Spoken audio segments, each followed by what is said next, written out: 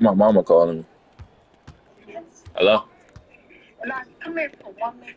Okay.